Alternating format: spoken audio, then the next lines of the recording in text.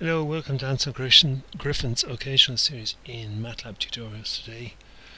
A bit of a slowdown just to recap on some stuff we have been doing. Okay, because some people have difficulty in sorting it out. So there's the problem, d2x dt squared minus 3 dt dx plus 2x equals cos 3t, and there's the initial values.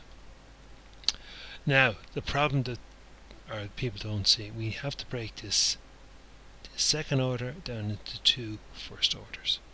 So we let x1 equal x. So anywhere we have x, we bang in x1. And anywhere we have x dash, like here, we put in x2.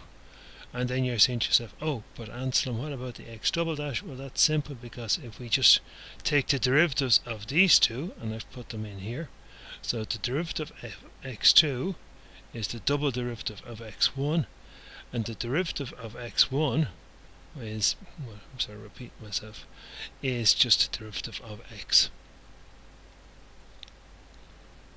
So if I slow down here, all I did here was I left the d2x dt squared on the left hand side and brought everything over to the right hand side. So bring that across, we get uh, the minus two, the plus 2x over here becomes minus 2x here and minus 3 dt dx becomes plus 3 dt dx and the cos 3t there. Now going from here to here we substitute so for x double dash x double dash we put in um, uh, x2 dash and sorry slight so for that we put in that.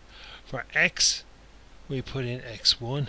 For 3x dash 3 dt dx, we put in 3x2 because that's there, and the cos 3t remains the same. So we've created um, two first order from one second order and I've written it in matrix format. So in other words, this row by this column is 0. So 0x1 plus 1x2 gives me that. And here minus 2x1 minus 2x1 plus 3x2 plus cos 3t gives me x2.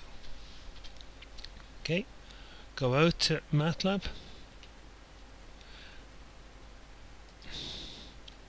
So I clear the screen, I clear the workspace, I close all variables, I create a time zone from 0 to 5 in steps of 0.01.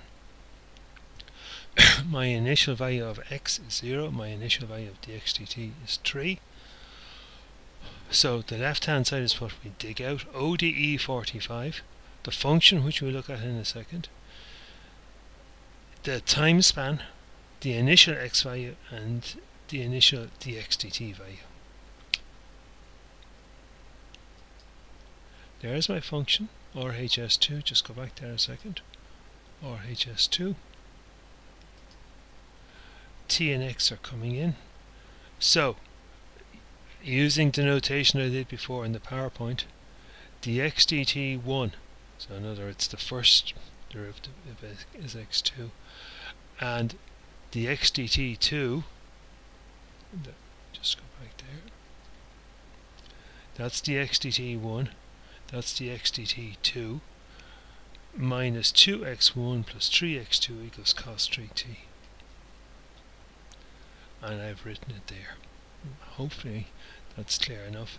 Then I get one array out and it has um, two rows. I think the previous time I wrote it was two columns go back to here. This is very simple. There's no comments I suppose. I wouldn't get 100% but look it, it, it will do for the moment and I think I've explained it so let's run it. Okay so hope that clears things up a little bit better. Thanks very much. Bye